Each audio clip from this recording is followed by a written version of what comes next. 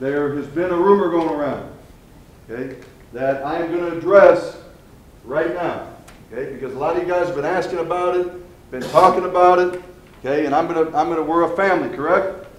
Okay, so I'm going to bring it out, get it out in the open right now. There's been a rumor going around that at some point this season, we're going to wear a different uniform. Okay, well, that rumor is true. Okay, that rumor is true. Thursday happens to be Halloween. A lot of you don't know that. Okay? Thursday's Halloween. Okay? We're a televised game.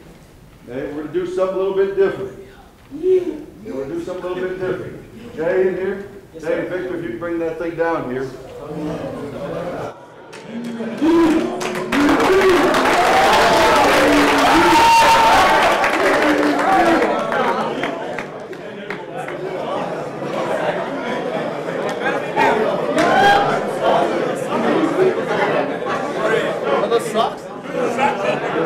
got new sex. We got new sex.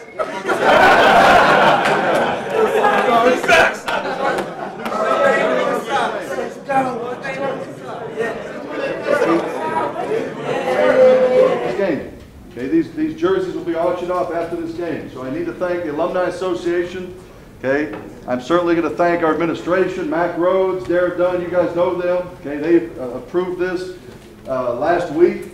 Okay, and uh, I want to thank uh, Jay, Victor, his crew. I want to thank Coach Spav. Coach Spavital had certainly some input in the design. Okay, and this is something that we've been talking about for a while and really just kind of put it together last week. And I think you guys are going to be excited about it. Okay? So again, this is what we'll wear Thursday night. Okay? And, and uh, what, how, how many you got in here? Two? Okay.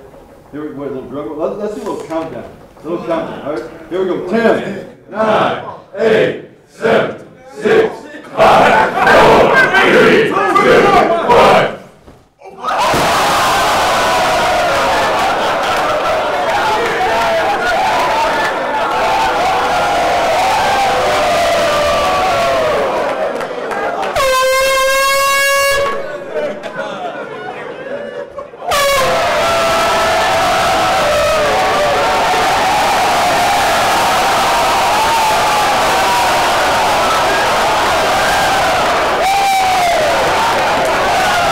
family. We're all family, correct?